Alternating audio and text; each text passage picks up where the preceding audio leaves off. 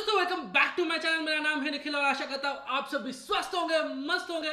सुबह का टाइम है ब्रेकफास्ट करना है।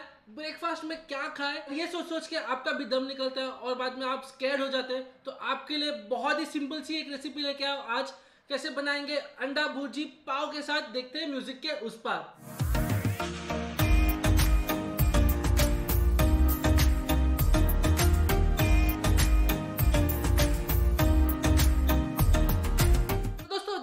अंडा भुर्जी बनाना है तो बड़ा ही सिंपल है। बस स्टेप्स को फॉलो करते जाना है।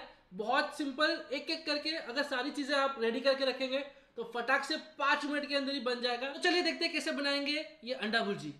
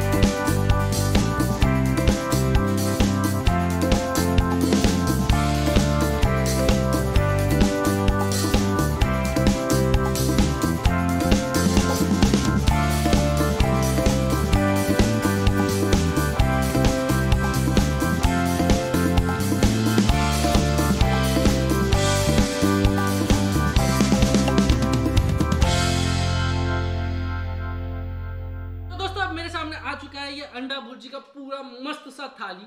इसके अंदर यहाँ पे ये अंडा भुर्जी है, चाय है और पाव। बस ये सिंपल सी ब्रेकफास्ट रेसिपी है। अगर आप ये बना लेते, पूरे दिन का काम निकल जाता है। चलिए, अब मैं इसे टेस्ट टेस्ट करूँगा। बट टेस्ट टेस्ट करने से पहले आपको कुछ चीज़ें बता दूँ। मैंने इसके अंदर ना, गरम मसाला के जगह पे मेरा कोल्हापुरी मसाला डाला है। आप ऐसे अलग अलग तरीके के मसाले डाल के इसमें वेरिएशन ला सकते हैं। गरम मसाले वाला बेसिक वर्जन है। इसके अंदर थोड़ा सा बटर डाल दीजिए किचन किंग मसाला डाल दीजिए। वो एक हल्का सा मखनी स्टाइल का टाइप का हो जाता है। फिर आप इसके अंदर थोड़े से कसूरी मेथी एंड में डाल दीजिए, वो एक अलग स्टाइल का हो जाएगा।